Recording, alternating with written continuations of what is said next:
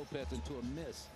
But you just can't let him waltz down into the paint when he wants to with the basketball with a live dribble.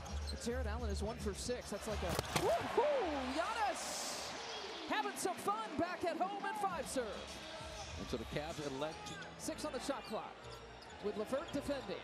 Dame jab step, steps it back, only needs a sliver of space to drill the three point. 32 points is a lot to put up against this Cavs defense in the corner. Jones with the finish on the lob play and the foul. as does Jarrett Allen, as does the injured Evan Mobley, and that's going up. You saw Joe Prunty as the interim head coach on the sideline, reverse dunk.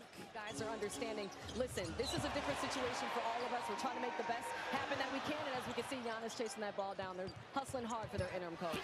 Keep it going, Mouse.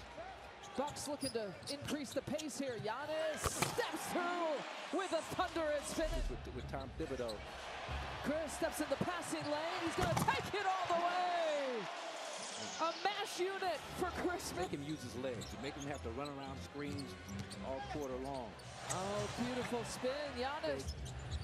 Fly by contest. Giannis. Way too easy. You know, with their, their hustle at both ends of the floor.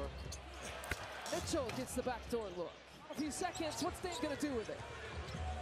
Driving left side, pulls from three, beats the buzzer. A lot to me depends on kind of what happens over these next couple of months of the season. Mitchell back there. Mitchell drops it off. Allen finishes. And timeout here for the Bucks. The Bucks come up, come up with that of this timeout. Giannis, he 18. To go with his 35 points, nine assists, one more for the triple double. Gets it, Malik